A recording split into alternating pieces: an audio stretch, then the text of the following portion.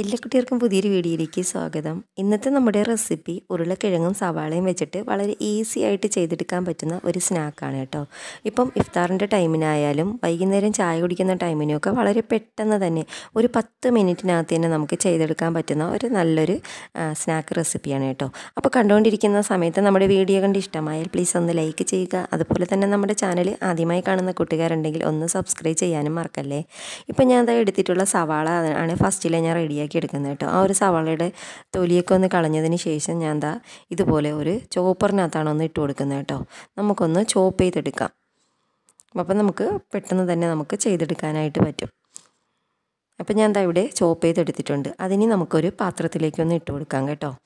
അതിന് ശേഷം ഞാൻ എന്താ ഇവിടെ ഇനി എടുക്കുന്നത് എടുത്തു വെച്ചിട്ടുള്ള ഉരുളക്കിഴങ്ങിന്റെ സ്കിന്നെല്ലാം ഒന്ന് റിമൂവ് ചെയ്തതിന് ശേഷം നല്ലതുപോലെ കഴുകി എടുത്തിട്ട് ഇതാ ഇതുപോലെ ഒരു സ്ലൈസറിൽ വെച്ചിട്ടൊന്ന് സ്ലൈസ് ചെയ്യണം കേട്ടോ. അപ്പോൾ നിങ്ങൾ എടുക്കുന്ന സമയത്ത് ഏറ്റവും ചെറിയ ബ്ലൈഡ് എടുത്തിട്ട് ചെയ്യുകയാണെങ്കിൽ കുറച്ചുകൂടി നല്ലതാണ് കേട്ടോ. എനിക്കിപ്പോൾ ഈ ഒരു രീതിക്കാണ് കിട്ടിയിട്ടുള്ളത്. അപ്പോൾ എന്റെ കയ്യിലുണ്ടായിരുന്ന സ്ലൈസർ വെച്ചിട്ട് ഞാൻ ചെയ്തതാണ് കേട്ടോ. അതിന് ശേഷം നമുക്കിനി ഒരു പാത്രം എടുക്കാം. ആ ഒരു പാത്രത്തിലേക്ക് നമ്മൾ സ്ലൈസ് ചെയ്ത നമ്മുടെ ഉരുളക്കിഴങ്ങും അതുപോലെ തന്നെ നമ്മൾ ചോപ്പ് ചെയ്തെടുത്തിട്ടുള്ള നമ്മുടെ സവാളയും അതിലേക്കൊന്ന് ഇട്ട് കൊടുക്കാം. ഇനി അതിനുശേഷം ഞാൻ ഇവിടെ ഇതിലേക്ക് ഒരു സ്പൂൺ ഇഞ്ചി വെളുത്തുള്ളി പേസ്റ്റ് കൂടി ചേർക്കുന്നുണ്ട്. ഇനി നമുക്കിതിലേക്ക് കുറച്ച് പൊടികൾ ചേർത്ത് കൊടുക്കാം. അതിന് കാൽ ടീസ്പൂൺ മഞ്ഞൾപ്പൊടി എരിവിനാവശ്യമായിട്ടുള്ള മുളക് പൊടി.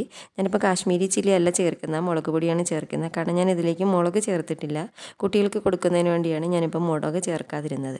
പിന്നെ ഇതാ മുക്കാൽ ടീസ്പൂൺ ഗരം മസാലയും ആവശ്യത്തിനായിട്ടുള്ള ഉപ്പും ചേർത്ത് കൊടുക്കുക അതിനുശേഷം ഞാൻ എന്താ ഇവിടെ ഒരു ബൗൾ മൈദപ്പൊടിയാണ് ഇതിലേക്ക് ചേർത്ത് കൊടുക്കുന്നത് കേട്ടോ.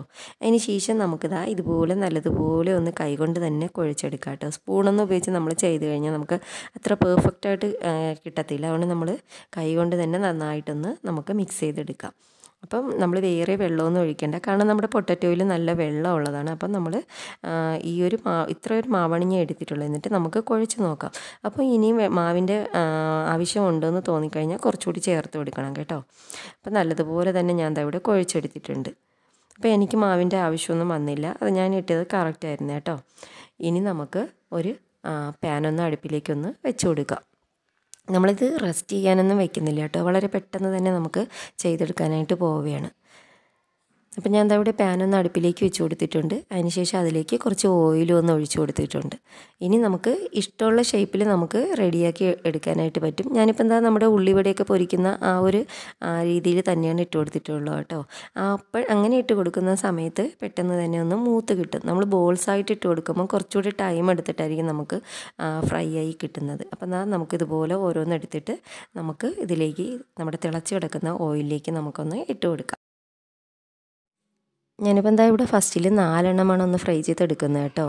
നമ്മൾ ഇടുന്ന സമയത്ത് ഹൈ ഫ്ലെയിമിലായിരിക്കണം പിന്നീട് നമുക്കൊന്ന് മീഡിയം ഫ്ലെയിമിലേക്ക് മാറ്റി കൊടുക്കാം കേട്ടോ. അപ്പോൾ ഇതിന്റെ ഉള്ളൊക്കെ ഒന്ന് വെന്ത് വരണമെങ്കിൽ നമ്മൾ മീഡിയം ഫ്ലെയിമിലേക്ക് തന്നെ ഇട്ട് കൊടുക്കണം. ഹൈ ഫ്ലെയിമിലിടുമ്പം പുറഭാഗം മാത്രം നല്ല ക്രിസ്പി ആയിട്ട് ഉള്ളു വേകാത്ത കണക്കാവും കേട്ടോ. അപ്പോൾ അതിനാണ് നമ്മളൊന്ന് മീഡിയം ഫ്ലെയിമിലൊക്കെ ഒന്ന് മാറ്റി കൊടുക്കുന്നത്. ഇപ്പോൾ എന്താ ഒരു സൈഡ് ഒന്ന് ഫ്രൈ ആയി വന്നിട്ടുണ്ട് കേട്ടോ. ഈ ഒരു സമയത്ത് നമുക്കൊന്ന് മറിച്ചിട്ട് കൊടുക്കാം.